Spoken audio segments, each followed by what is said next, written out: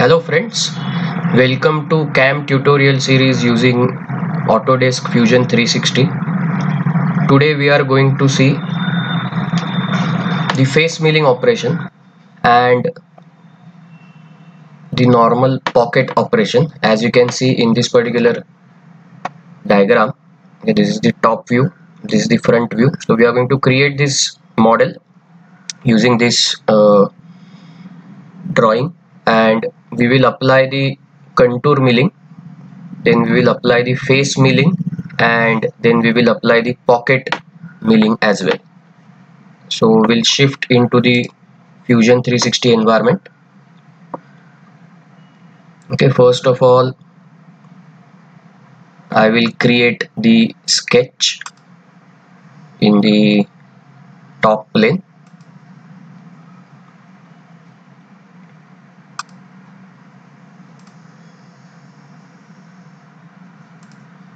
the dimension that we are looking at is 125 by 100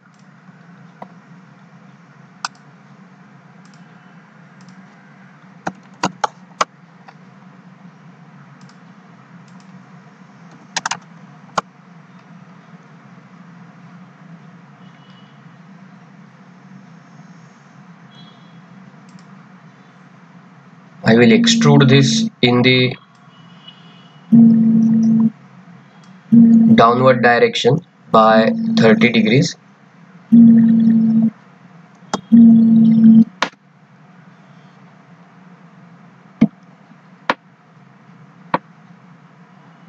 And then I will create another sketch on its top plane. And this time with an offset dimension as it is mentioned here. Offset is 25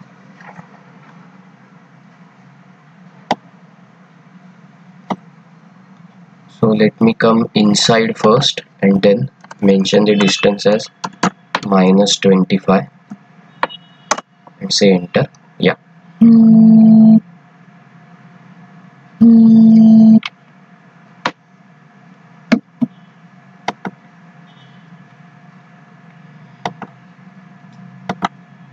And I will extrude this by 20 as shown in the diagram I also will apply the fillet to the four corners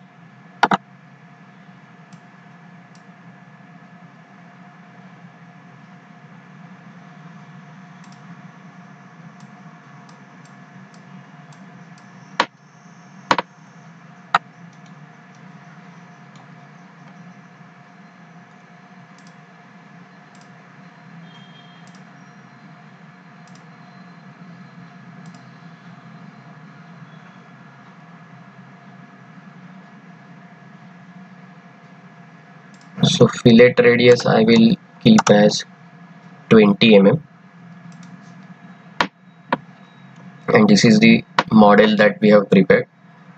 Okay now we will go into the manufacture environment. First I will save this.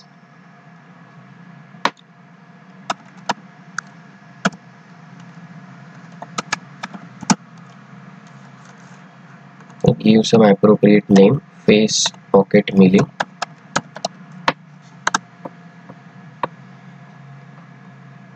then I will move into the manufacture environment. And I will try to set up the problem first. So move into the setup. I will select the machine.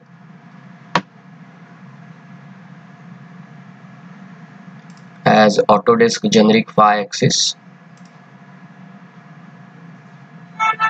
operation type is going to be milling.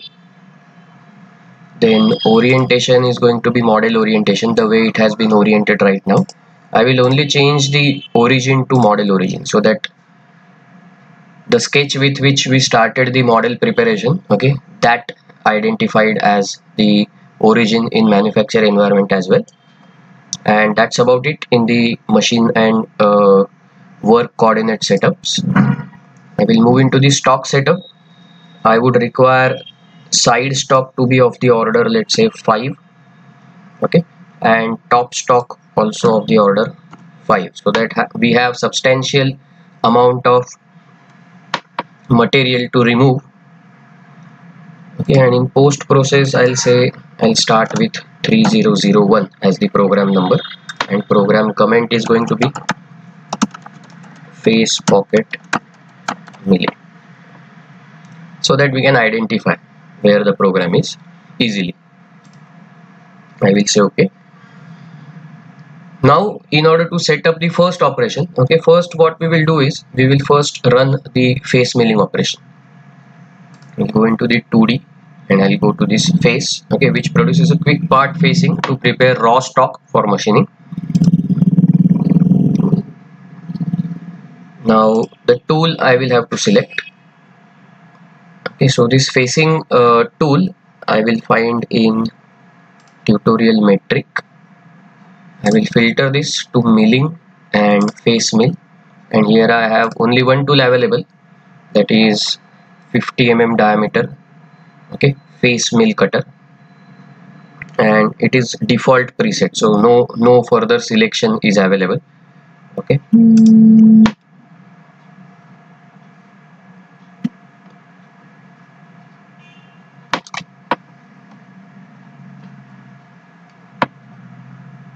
so we'll keep all these uh, values as default values okay? Then we'll come to the geometry. So as far as geometry is concerned we are going to select this particular top edge of the stock okay? Top edge of the stock.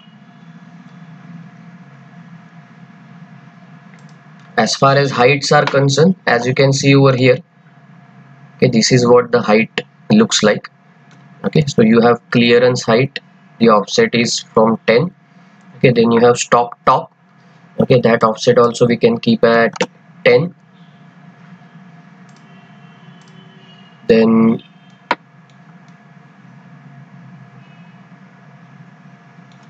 then you have feed height then you have top height and bottom height. So I guess that's about it.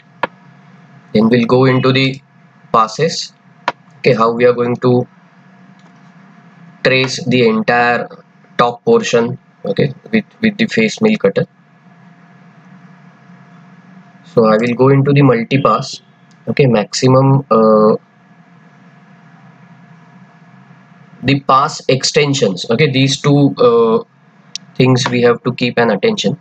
So if I say pass direction okay zero degrees means it is going to go in this direction that is horizontal okay.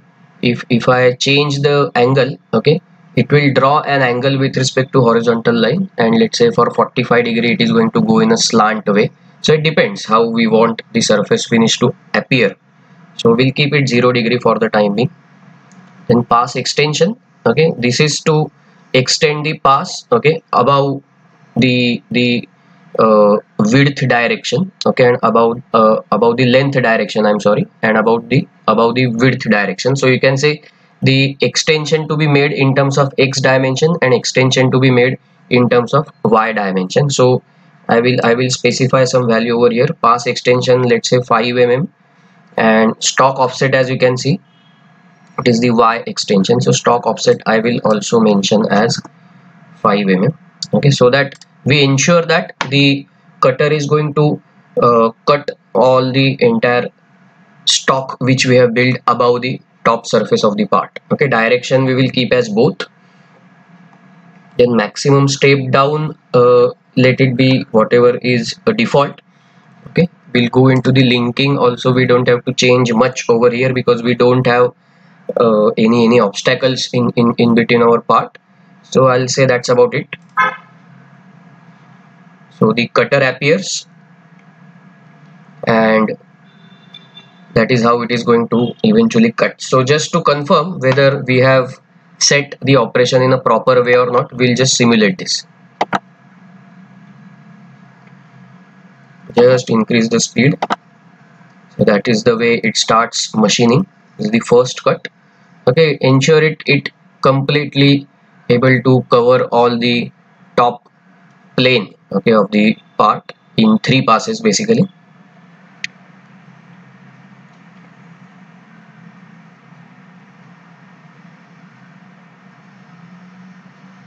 so these distances can be varied and the the timings that we get over here. Now the machining time over here is just a little bit less than 7 minutes 6 minutes 40 seconds. So that's that's about it. Okay so this is the first operation that we've carried out.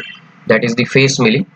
Okay now we will move into the contour milling operation which which we have already done many times. Okay, so it will be a quick recap of that operation so for that I'll go to this 2d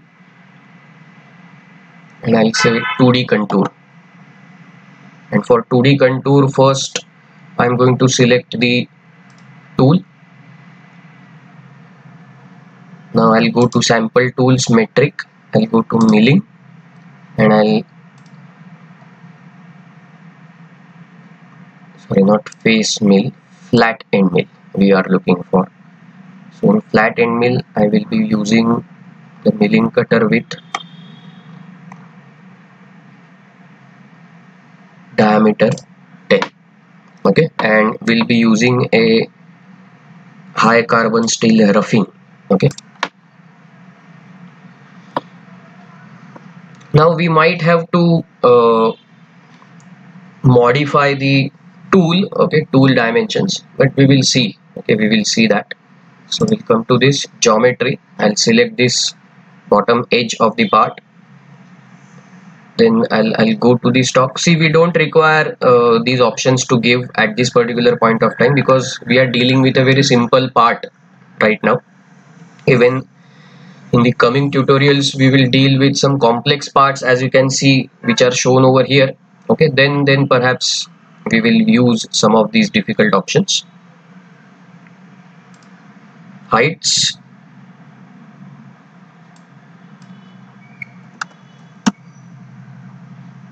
Okay so I have just increased the retract height and the top and stock height all all are taken as defaults.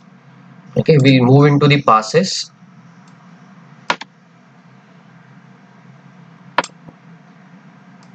Okay we would require the roughing passes I will increase this distance to let's say 3 mm okay number of step overs so as if I if I try to expand this explain this. This is what we mean by the distance. Okay and this is what we mean by the step overs the total number of cuts to make for this tool path.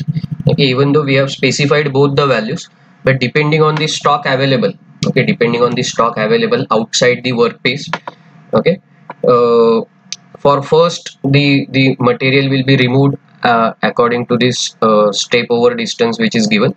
Okay. And for remaining uh, how many total step overs to count? Okay. That that will be decided on remaining stock. So it, if if my stock is more as in this particular case the stock is uh, 5 mm okay on either sides. So it is not possible to cover it in single step over because I have given step over distance as 3 okay so we'll have two passes something of that kind. In multiple depth okay maximum roughing uh, step down. Okay maximum roughing step down. I cannot give it as 30 the total 30 we have to uh, acquire so I'll give it 6 mm so that we can cover it in uh, 5 passes. Okay use even step downs. Okay we will not have any stock to leave okay because we are just uh, carrying out the uh, contour milling operation. Okay and here in the linking parameter also we don't have to uh, specify anything. Okay we might have an error uh, in this particular case.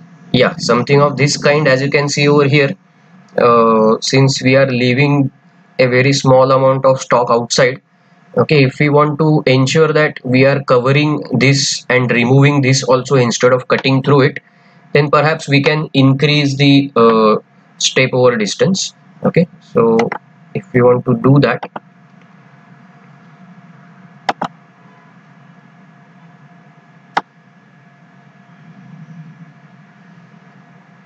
okay then perhaps what I can do is I can increase this distance to 5 mm okay that is one thing possible. Or else you can keep this as 3 and increase the number of step overs to 2 okay so that also is possible. So that we we have a very little amount of material being left on the side. So let us uh, work this through.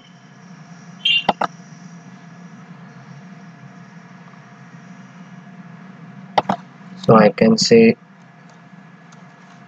4 mm okay? And that will do the job for us. Still some remaining. You have to be very precise while you are selecting the values. So my earlier guess was correct okay? 5 mm we can keep so that we are removing the entire uh, reducing the stock from the outer sides okay. To have a good amount of surface finish. So let us simulate this activity as well.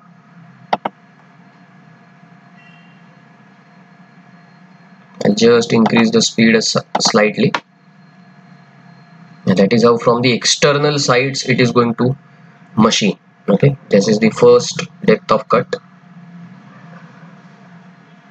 Then the third second was done. Then third begins then you have fourth one. And we will also try to see if there is any collision happening. Okay right now there is no collision happening. Now here we have collision as you can see. So that's what I was uh, talking earlier that we may have to alter the uh, size of tool. So we will do that because the holder is colliding with the workpiece which we want to avoid. So I'll come to the edit tool. I'll come to the cutter okay and the length below holder. This particular length which is a default of 27.5 I will increase it to 35 okay so that should solve the problem for us. Now after changing the tool okay we again will have to go back into the operations and just say okay over here. And we will see whether there are any collisions happening or not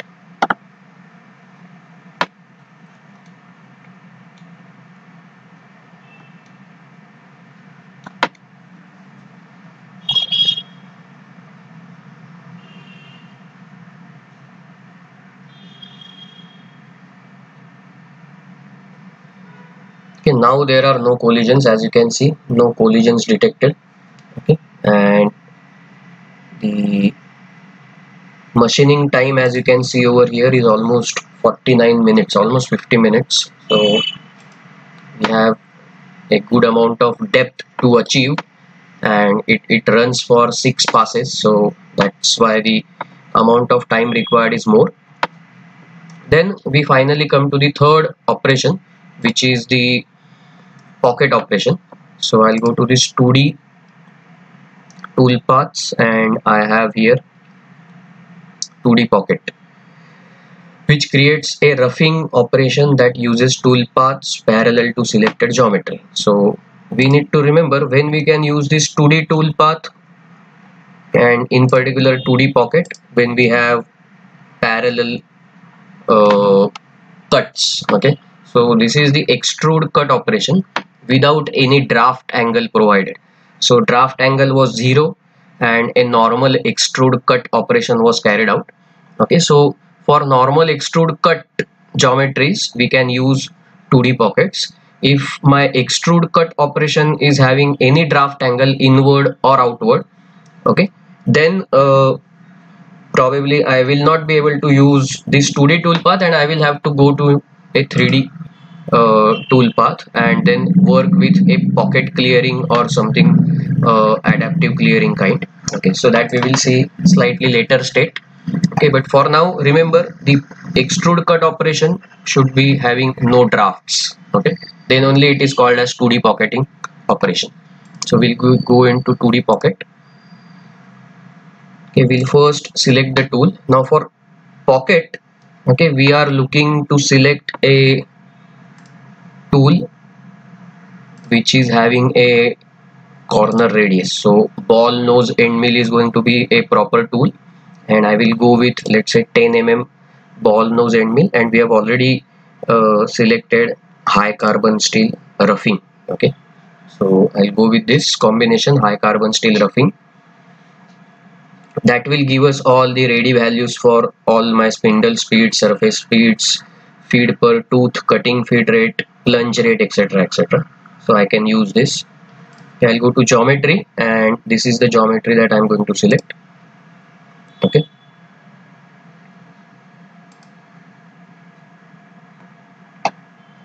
Then I'll go to the heights. Okay I will again increase this height to let's say 10 mm I will go to the passes. See settings are quite quite familiar okay mostly. You have to select the tool then you have to select the geometry then you have to uh, set up the heights okay. Then you have to come to the passes okay. So these settings don't often change okay. The way we apply them they slightly change depending on various operations. So in passes okay the uh, sideway compensation is going to be left climb okay. So we will be using a specific g code for this. Okay then maximum step over. Okay this we can control. Let's say I'll, I'll set it as 3 mm okay just to begin with. Okay multiple depths I would want. So maximum roughing depth. See total depth to achieve is 10 mm. So I can say 5 mm is the maximum roughing depth. Okay and finishing step down let's say 0.2 okay there is no wall taper angle to cover. And use even step downs. Okay use even step downs. Uh, I will not have any stock to leave on floors. Okay I will not be having any finishing operation. When you can have when you are actually going to work with the uh, the workpiece and you are going to load this program onto CNC and really going to machine the workpiece with it okay then I would suggest to go for a roughing cycle and then finishing cycle to have a very good surface finish. Finishing cycle would exactly look like the same how we are designing this. Only at that point of time we will be uh, leaving no stock on the uh, floors and walls. Okay so that is going to be the only difference. Apart from that there is no other difference. The linking is not required as we don't have any obstacles from workpiece. So as you can see the image over here. So I'll just say okay and see whether the uh, pocket operation has been applied in a proper way or not? Yes it has been applied but we have an error okay, which we will try to address. From the high highest z position of the tool path the safe distance is higher than the specified feed height. Okay so what we will do is the feed height which we specified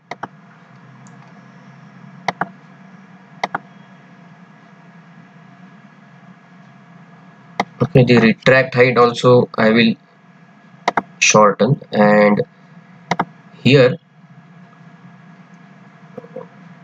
we have a safe distance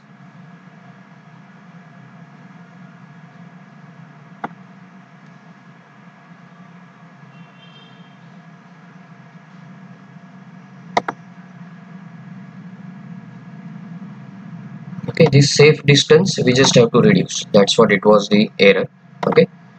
So then we will not have any error as you can see over here. Yeah no errors. So we can also see this uh, in simulation. Just increase the speed a bit. This is the first cut. This is the second cut that it takes. The third cut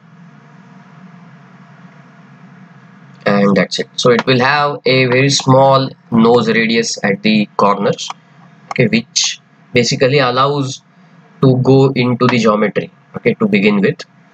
So that is how we are going to finish the operation. We can see all these operations in sequence in simulation. When we select all and simulate we have slightly higher speed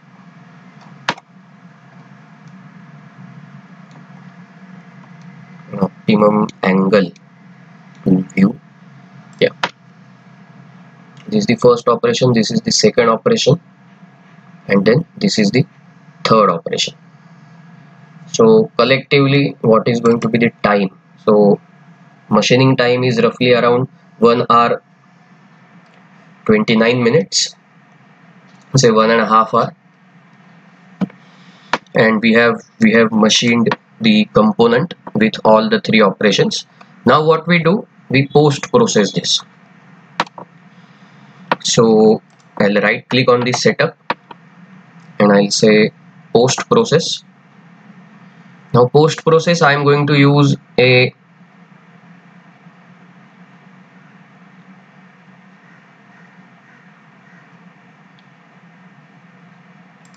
the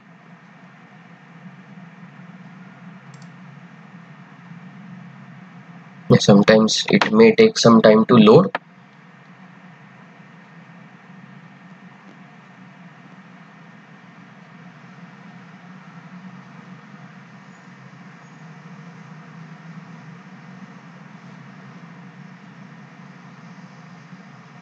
As you can see it is scanning the posts and then it makes the controllers appearing okay so now we are going to use the Fanuc controller.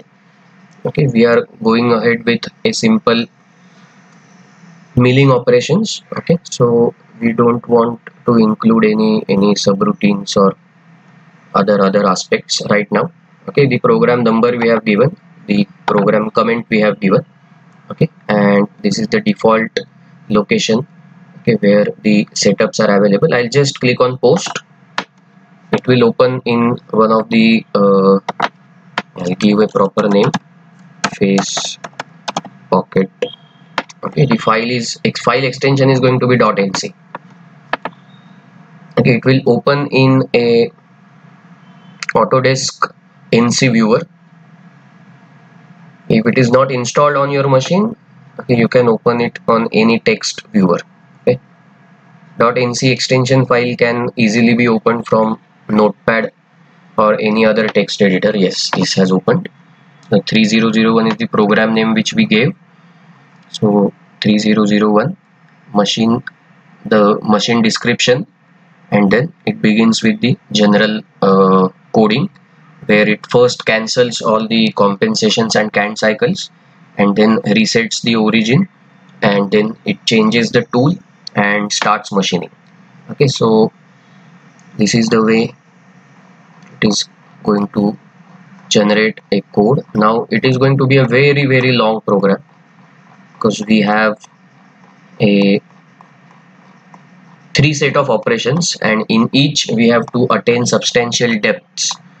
So as you can see the program length is almost 836 lines. Okay so it's a very long program. So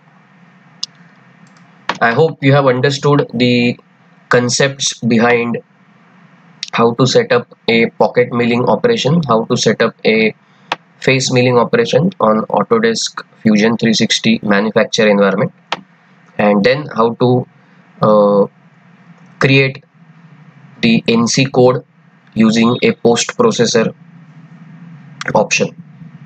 So I hope to see you next time with more such interesting content on CAM tutorial series using Autodesk Fusion 360. Until then, goodbye and thank you.